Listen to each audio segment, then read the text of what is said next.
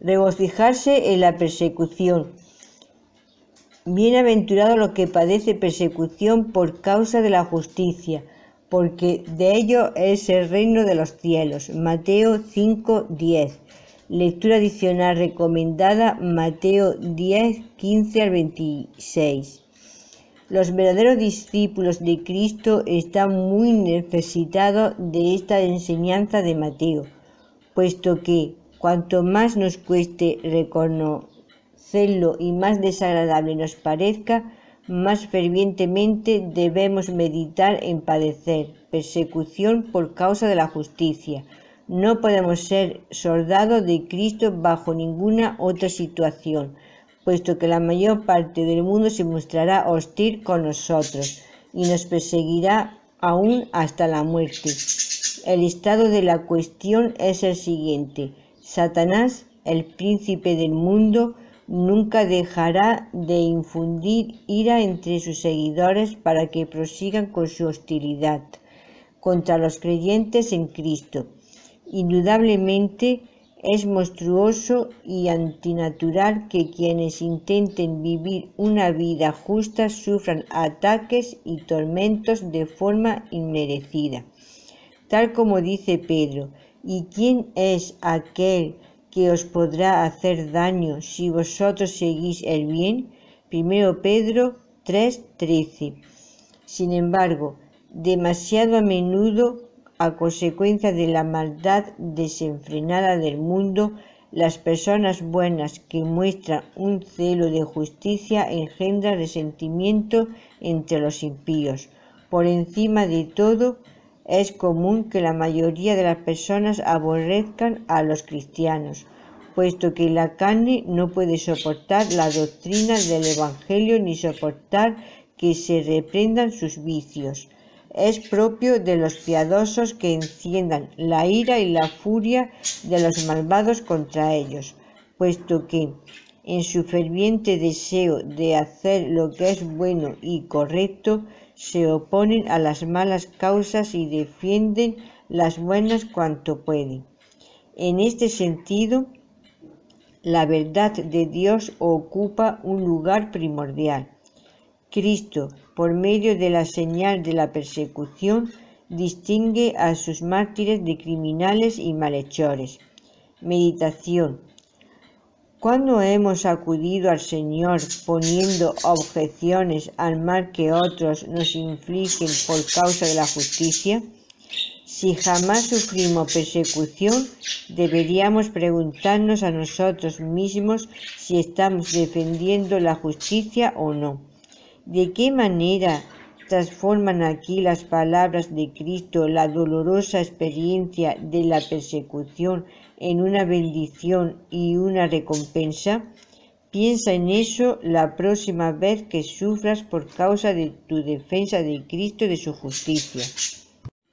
Junio 13. Si pones la esperanza de tu corazón en las personas a tu alrededor, siempre serás decepcionado. Nadie es capaz de ser tu Mesías personal.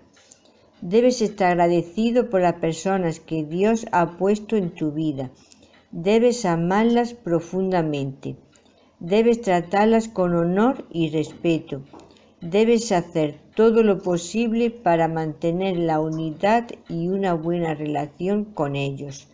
Debes estar dispuesto a entregarte y servirlos. Debes estar dispuesto a escuchar cuando hablen a tu vida. Debes reconocer que fuimos diseñados para vivir en una comunidad amorosa con otras personas, pero no puedes esperar que ellos te provean de lo que solo Dios puede proveerte. Hay muchas, muchas relaciones cristianas que son dañinas, dolorosas y marcadas por conflictos y desilusiones porque la gente en esas relaciones está colocando una carga en ellas que ninguna relación humana puede soportar. Ninguna persona puede ser la fuente de tu identidad. Ninguna persona puede ser la base de tu felicidad. Ninguna persona puede darte una razón de peso para seguir adelante. Ninguna persona puede ser tu esperanza. Ninguna persona puede cambiarte desde adentro. Ninguna persona puede alterar tu pasado. Ninguna persona puede espiar tus errores.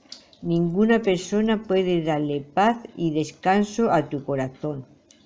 Pedirle a otro ser humano que haga esas cosas es pedirle que vea la cuarta persona de la Trinidad y luego juzgarlo cuando nos falla.